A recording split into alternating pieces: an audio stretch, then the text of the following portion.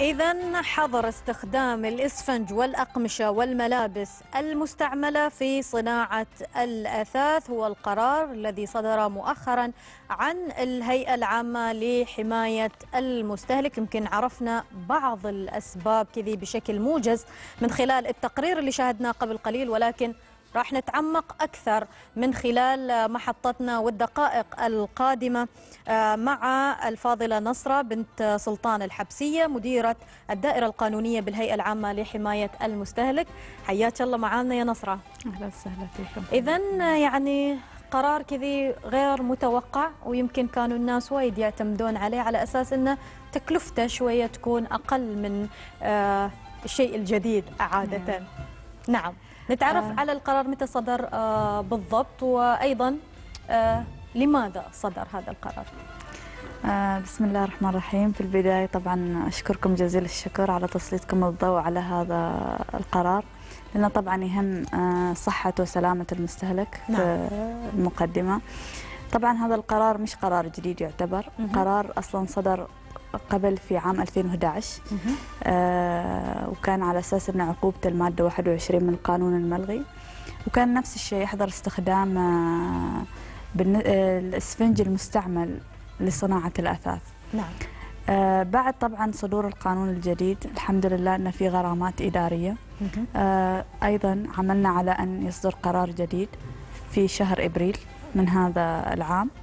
فصدر طبعا هذا القرار كذلك على أساس أنه يؤكد آه منع استخدام الإسفنج المستعمل والملابس المستعملة لصناعة الأثاث.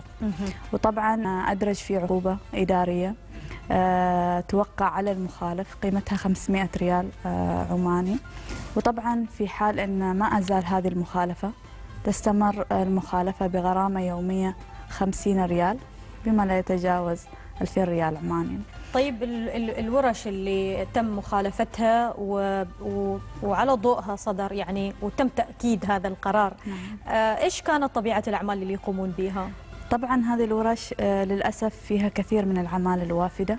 آه، تقوم بجمع هذه المخلفات من القمامة الإسفنج المستعمل الأغطية والافرشه الخاصة بالمستشفيات التي خلاص لا لا يمكن استعمالها. آه، بالإضافة إلى بقايا المحلات آه، محلات الخياطة فتقوم بتجميعها ويعني استخدامها للوسايد استخدامها للأفرشة استخدامها للكراسي آه، بعد طبعا ما تقوم بأخذ هذه تجميعها. وإعادة تصنيعها مرة أخرى بمواد كيميائية وتطلع على بشكل تسمى طبعا هم يعتبرونها أفرشة آه، طبية إلا أوه. أنها هي طبعا بعيدة عن أنها طبية يعني هي أيضا تروج وتباع للمستهلك على أساس أنها هي طبية وأنها جيدة وأنها جديدة وكل هذه الأمور أيوة يعني المستهلك لما يذهب إلى المحل.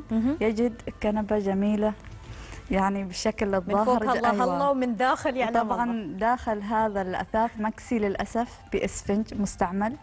وهذا الأس... واحيانا أفرشة أحيانا أقطان أحيانا مثل ما ذكرت لك بقايا المحلات آه، الخياطة نعم بعد طبعا تصنيعها وظهورها بالشكل الم- المستهلك لا يصعب عليه التمييز يعني صحيح. بين آه، الطبي وبين السليم وغير السليم. لكن طبعا صارت تظهر كثير من آه، الأمراض وهي طبعا صراحة مؤشر على أن في أضرار صحية كبيرة آه، لهذه الافرشه آه، لهذه الأفرشة. ومن ضمنها طبعا كثير من الناس لاحظوا بعض ظهور بعض الحشرات والبكتيريا. آه، والروائح الكريهة بعد استعمال هذا الأثاث وطبعا في ناس كثير آه، أيضا من ضمن ال- العوامل اللي إحنا سبب المنع إن بعضهم طبعا ينام على خاصة بالنسبة للمنامات تكون متحركة ممكن آه، آه، تأثر على الظهر العمود الفقري الرقبة طبعا لها آثار سلبية وصحية على صحيح. المستوى البعيد لأن المستهلك لا يعلم ما صحيح. بداخل هذا الأثاث صحيح. طيب آه، بالنسبة لأبرز المخالفات يعني اللي آه، تم رصدها وين كانت تتركز؟ هل رصدتوها من مختلف محافظات السلطنة ولا لا؟ في بعض المحافظات كان فيها أكثر يعني رصد لهذه الحالات. صراحة أكبر كمية رصدناها في الصلالة. صلالة؟ نعم كانت طبعا وجدنا آه، سبع شاحنات تأخذ هذه تأخذ هذه هذه. وهذه نعم. المخلفات مهم. العمال كانوا يعملون على مدى أربع ساعات متواصلة حتى يعني يستطيعوا تعبئة هذه الشاحنات طبعا كانت كمية كبيرة جدا وجدوهم أنه طبعا في مسكن مستأجرين مسكن غير مصرح يقومون بالخياطة وكسي الوسائد والكراسي طبعا هذه بعد يضيفوا لها بعض المواد آه، الكيميائية وتخرج بشكل إسفنجي يسمى بلوكات الإسفنج. ف وبعد ذلك يتم حشيها في الوسائد وفي الكنبات اللي طبعا تظهر بالإضافة إلى الرستاق بركة نعم. السيب فتعددت المخالفات في هذا المجال لأن تعرف المستهلك أول ما يصل إلى المحل لا يرى كيف يصنع هذا الأثاث. صحيح جاهز يكون أيوة. ومعروض بالضبط. نعم. فما ما يعرف وين مصدر هذا الأثاث كيف يصنع هذا الأثاث كيف شكله.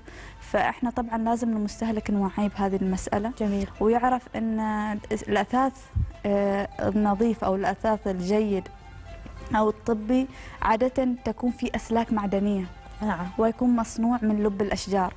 وليس صلب لدرجة انه يكون أن آه، لا هم كذا يقولوا أيوة. لهم إذا شفته جامد جدا فهذا ممتاز طبي رقم واحد أيوة. هذا فللأسف أحيانا البعض لا يعني لا يعي آه، إيش هو الأثاث السليم أو الأثاث الصحيح أو الأثاث اللي فعلا ممكن إنه يشتريه وللأسف آه، كثير من المحلات آه، تقوم بشراء الأثاث المستعمل البعض يعني من بعض المنازل أو تاخذه من القمامه وتعيد صحيح مرة أخرى طيب يعني مثلا أنا بيع. كمستهلك و يعني آه، مثلا أصيب بح- بحالة مرضية معينة جلدية إيش ما كان يعني عادة الواحد ما يخطر في باله أن المتسبب والله هذا الأثاث أو بالضبط. هذا الغطاء أو هذه المخدة أو إيش ما كان أو هذه الوسادة يعني نعم.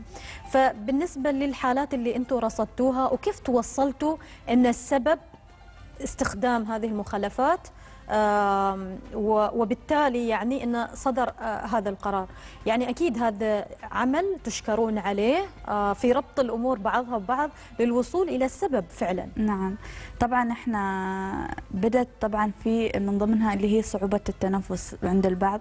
ظهور بعض الحشرات الصغيرة طبعا المستهلك يعمل يعني أدوية آه، ضد الحشرات نعم، لكن تظهر لأنها وهذه. موجودة داخل. فطبعا بعض ال- اللي وصلتنا بلاغ من بعض المستهلكين إنه فعلا وجد مثل هذه الأقطان هذه الموجودة داخل الأثاث ومن ثم وجدنا سببها إنه ما ما يعملون في النور. نعم. يستأجرون منازل بعيدة عن آه، ما يعني عيون الناس ويقومون بالعمل وأحيانا لا تكون لديهم حتى محلات مرخصة. نعم. يعني فهذا إحنا دائما حريصين على أن المستهلك يكون على وعي بأخذ الفاتورة يكون على وعي بمعرفة الأثاث صحيح. الجيد ما يشتري من أي مكان حريص أن الجودة مهمة جدا. طيب أيضا هذه المراقبة آه، تتم على أيضا الأثاث المستورد ولا فقط دققتوا على ال- اللي يعاد تصنيعه في في السلطنة؟ إحنا صراحة بدأ اللي هي اكتشفناه اللي يعاد تصنيعه. آه، بالنسبة للأثاث المستورد ما تم آه، اللي هو هذا اللي معاد تصنيعه اللي لما الواحد يروح محل ويطلب تفصيل شيء. معين أيوة. يعني. نعم. إيه، على يعني على كيفه طبعا أيوه. يتم بسعر بسيط جدا وهو أنا أعتبره ما سعر بسيط البعض يعني صحيح. فعلا سعر غالي ويكون المستهلك دفع قيمته لكن. يتفاجأ طبعا بوجود هذه آه، يعني الأشياء داخل الأثاث أحيانا حتى الخشب نفسه يكون. خشب مستعمل وليس خشب ذا جودة وأيضا يستخدم في آه، في هذا الأثاث لأنه يطلع شكل الخارجي بس هو قماش نعم. من برا فالخشب يكون داخل آه، طيب نأكد مرة ثانية على العقوبة ذكرتيها بشكل سريع ولكن أكد في حال اكتشاف آه، هذه مثل هذه المخالفات إيش اللي الإجراء اللي يتخذ؟ إيه، طبعا إحنا مباشرة يتم ضبط المحل. وفي غرامة. قيمتها 500 ريال ما تشوفونها شوية 500 500 هذه بالنسبة كغرامة إدارية إحنا متاح لنا آه، نعم. نفرضها أما. بالنسبة للقانون العقوبة هي لا تقل عن 2000 ريال ولا آه، ولا تتجاوز 50 ألف مهم. وبالسجن من ثلاثة أشهر إلى ثلاث سنوات يستاهلون صحة أيوة فهذا أيوة صحة المستهلك. فعلا نعم لأنه يعتبر هذا غش في البضاعة المقدمة للمستهلك وفي نفس الوقت تهدد صحته وسلامته آه، وممكن كمستهلك. المتضررين إنهم يرفعون أيضا, أيضا قضية أيوه لهم حق التعويض نفس نعم. الشيء بالنسبة إذا تضرروا آه هذا طبعا من ضمن ويتم مصادرة السلع أيضا الموجودة آه، جميعها يتم مصادرتها وممكن غلق المحل أيضا. ممكن ولا بعد غلق المحل؟ يعني ليش ممكن؟ طبعا إحنا غلق المحل آه، بإذن طبعا من الادعاء العام. ومن ثم إذا المخالفة فعلا يعني أحيانا تجد أن كمية بسيطة لكن إذا المخالفة ممكن غل... آه، يعني أوجب غلق المحل. وهذه عقوبات كلها وا- واجبة موجودة في القانون. طيب في حال إن أنتم اكتشفتوا آه، واحد من المحلات المخالفة وعرفتوا أن هذا كل الأثاث اللي يقوم بتصنيعه من هذه المخلفات اللي أكيد تضر بصحة آه، المستهلك. هل آه، أيضا تسعون لمعرفه مثلا المستهلكين اللي شروا منه وبالتالي توعيتهم على أساس انه ما ما يلحقهم أي ضرر؟ طبعا هو في آه، نقوم إحنا بهذا الإجراء. وهذا الإجراء أيضا نص عليه قانون حماية المستهلك لأن. في خطر يهدد صحة وسلامة المستهلك. نعم. وضروري جدا آه، إبلاغ المستهلكين اللي هم أخذوا هذه البضاعة وأخذها هذه البضاعة منهم نفس الشيء نعم. وتعويضهم عنها. وهذا الشيء طبعا كلها إجراءات تتم بعد ضبط المحل. جميل. جهود مقدرة حقيقة تقومون بها لحماية المستهلك من مثل هذا آه، التلاعب. في مختلف حقيقة قاعدين نشوف أشياء عجيبة غريبة. آه، للأسف إيش نقول؟ يعني هذا إن دل فإنما يدل على غياب ضمير آه، بعض هؤلاء التجار اللي يتلاعبون بصحة المستهلك. لا لا لسبب فقط إلا من ال- المكسب. ترى هذا المكسب حرام على فكرة يعني. افتت عايده اذا شكرا جزيلا آه،. أستاذة نصرة. آه، شكرا لهيئة حماية المستهلك اللي حقيقه لا تألو جهدا ل المستهلك هي كذا اسم على مسمى من وجدنا- هذا آه، التلاعب وأيضا الضرر اللي يلحق. بهم آه، شكرا جزيلا الأستاذة نصرة بنت سلطان الحبسية مديرة الدائرة القانونية بالهيئة العامة لحماية المستهلك شكرا جزيلا لك نورتينا. في من عمان الله يعطيكم. العافية مشكورة جزاك شكراً. الله خير